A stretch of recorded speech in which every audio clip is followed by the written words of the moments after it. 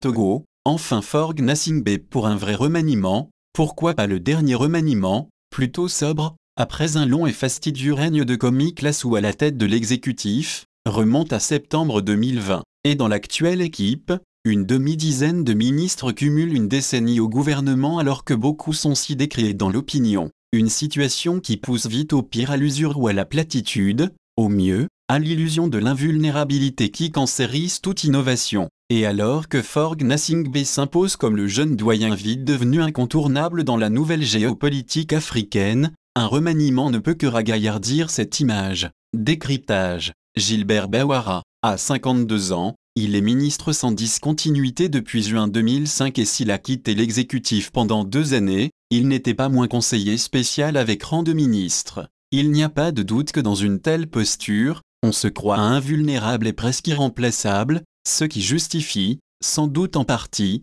les dérives qu'il enchaîne dans la gestion des corps de la fonction publique notamment les enseignants. Et comme ce diplômé de l'Université de Genève, ils sont bien nombreux à sombrer dans l'excès de confiance en soi et dans la platitude, à force de s'éterniser dans l'exécutif et pour certains, de faire des jeux de chaises musicales qui leur donnent, à raison, l'impression d'incontournabilité. Pendant que la gouvernance se modernise et que le pouvoir se digitalise en Afrique, un coup de balai ne peut que davantage dépoussiérer une galaxie où, au fil du temps, les habitudes sont devenues des tares. Les décadiers qui sautillent sur leurs dix ans, les caméléons qui s'adaptent à vive allure, les pépites souvent quarantenaires dont certains sont trahis par leur jeune âge et la nécessité pour le président de faire le vide dans un entourage trop encombré, ces éternels décadiers, qui s'avachissent ils sont quelques-uns à boucler une décennie au gouvernement. Certains essaient tout de même de tenir la pente, comme Robert Dusset, malgré les incidents de Togolais refoulés à Casablanca provoqués par son annonce précipitée d'annulation de visa entre le Maroc et le Togo et ses énigmatiques exploits dont un prix de droits de l'homme au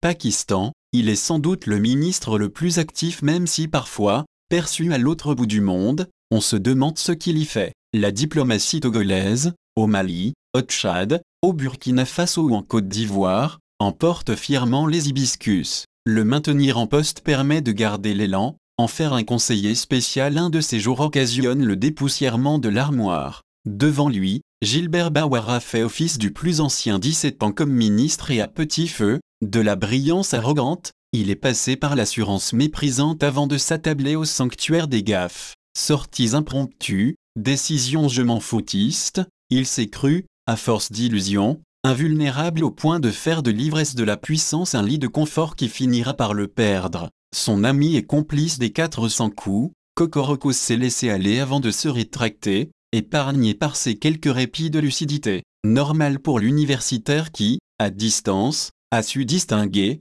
fort heureusement pour lui, le haricot noir des excréments de Cabri. Après une privatisation chaotique de Togo Telecom, principale et société publique la plus rentable, Sina son qui a bouclé sa décennie au gouvernement n'a plus peur de rien qu'il y ait phobe, haine de l'ethnie kabia du nord du pays, de première heure. Ses d'ego rivalisent avec son insolent charme. Elle porte ses complexes de supériorité chevillés au corps, telle une sangsue du malheur accès aléatoire à l'Internet, communication téléphonique sans cesse éreintée par une technologie bas de gamme, elle n'a qu'une seule obsession, faire le plein de sa trousse de billets. Héritage génétique têtu qu'elle tient sans doute de sa mère, une Akiréburu bien mercantile, en Bonanago, ethnie des côtes nigériano-bénino-togolaises réputée pour son esprit malicieux et trop commercial. C'est Caméléon qui s'adapte Victoire Dogbe. À 62 ans, elle aura gouverné pendant plus de dix ans le juteux ministère du Développement à la base. Depuis,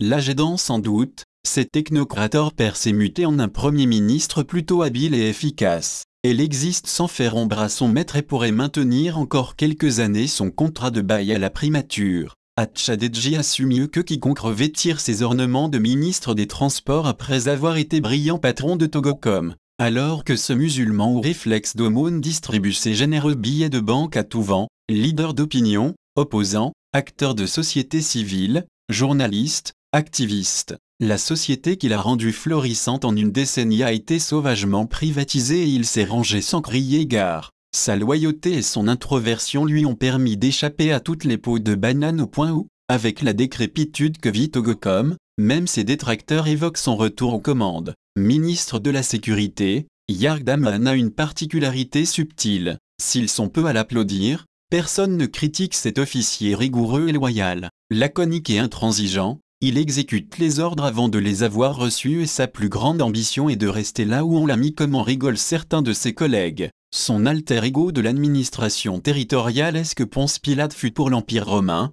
un zélé. Il fonce dans le mur oubliant parfois que son crâne n'est pas en plomb, une prédisposition quasi congénitale que tout maître adore chez son serviteur. Il a fait du Covid-19 son argument à tout refus. Manifestations publiques, protestations, mobilisation de foule, culte dominicaux, il dit non avant même de savoir ce dont il est question. Il a de l'avenir dans un gouvernement dont il a déjà goûté les délices il y a une petite décennie avant de faire son comeback. Les pépites quarantenaires qui sauvent la Miss Forg Nassing B a sans doute raison de faire confiance à la jeunesse. Ces quarantenaires, entre compétences et esprit de défi sauvent la mise. Généralement formés en Occident, ils sont des technocrates qui peuvent manquer d'expérience politique mais sont aguerris à la tâche. Sandra Johnson en est sans doute la tête de peloton. Son parcours l'y a préparé, notamment au sein des instituts de formation de la Banque mondiale en a fait une dure à cuire. C'est la directrice exécutive dont a manqué longtemps la présidence. Sa culture de la discrétion et sa propension à mettre en exergue son maître resteront des atouts.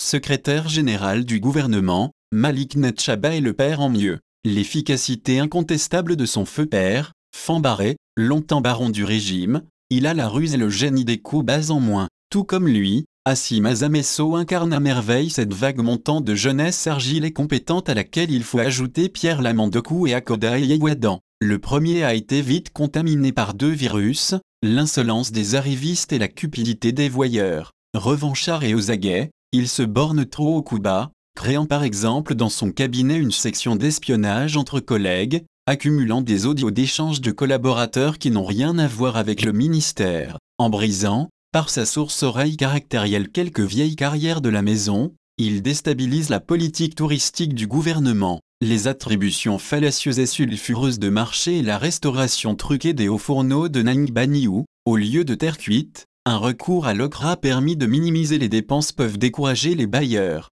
la France et l'Union européenne y ayant mis de leur contribution, avec de multiples dérivés accusations, harcèlement sexuel, affectation punitive, Travaux au prix mirobolant notamment dans les hôtels de Palimé et de Dapong, au point où ces habits magouilles dont il est devenu incorrigible maître ont alimenté récemment la presse locale d'autant qu'il a été épinglé par le contrôleur des marchés publics. Quant au second, brillant et intelligent, il a tout intérêt à rétrécir son gynécée. Un adage y fait, ethnie du au méridional togolais, dit que la mort peut se déguiser sous des jupons. Attention aux coureurs, il doit être moins donwan et plus porte-parole. Mieux vaut tard que jamais, s'il veut continuer à rester une pièce maîtresse du Togo de demain. Après des sorties intempestives à balancer des assertions souvent démenties, son acolyte Christian Trimua s'est un peu calmé mais alors que des échéances électorales s'annoncent, ce tribun effervescent reprendra vite service. L'exécutif peut s'en passer sans que l'action du gouvernement ne soit moins audible, car à force de trop crier, il donne l'impression que le tam-tam est près de s'exploser. Comment évoquer les jeunes sans faire mention de la Benjamine du gouvernement? Arrivé au détour d'un hasard, Mila Aziablé a vite pris goût aux habitudes des vieux, fouinant sur fond de favoritisme les contrats miniers et se laissant aller aux tentants excès de luxe que risque tout arriviste, dans le monde du pouvoir belle. Si elle épargne à nos yeux ses trologues robes, ses apparitions seront davantage portées par un coup de coquetterie. Conforter la posture par l'assainissement quoi qu'on dise, Forg Nassingbe est aujourd'hui l'un des chefs d'État les plus incontournables du continent. En occupant des terrains sensibles qu'évitent ses pairs, cet inflexible quinquagénaire dont l'élégance fait du buzz sur les réseaux sociaux fait un vieux contenu dans un jeune contenant. Et cette posture séduit d'autant qu'en faisant de lui un incorrigible muet, son impénétrable silence est devenu une marque de fabrique. Il tire dans l'ombre toutes les ficelles du pouvoir, sans paraître nulle part et son apparente innocence avec laquelle il joue habilement fait parfois oublier les conditions épouvantables dans lesquelles il a accédé au pouvoir en 2005. Sa gestion efficiente du terrorisme, sa stratégie pragmatique par laquelle il snobe l'Occident au profit des nouveaux géants, la Turquie, la Russie, l'Arabie saoudite et les pays du Golfe marchent à merveille. Médiateur au Burkina Faso et au Mali, très écouté par son homologue tchadien, il est devenu la porte d'entrée dans la sphère de la zone périlleuse d'Afrique, rendue inaccessible à la majorité des puissances. Le président, plus qu'omniprésent sur la scène internationale dominée par une forme de panafricanisme auquel il se vit accommodé a tout intérêt à mettre sous éteignoir certaines brebis galeuses de son gouvernement. Car, dit-on, la gale est contagieuse et dans la mythologie grecque, elle fut doublement mortelle. Voilà pourquoi il a intérêt à tout remaniement alors que les trois prochaines années sont toutes électorales, sénatoriales et régionales en 2023, municipales dans la foulée, législatives ensuite et en 2025, la présidentielle de tous les défis, Max Savi Carmel, Africa Stratégie France.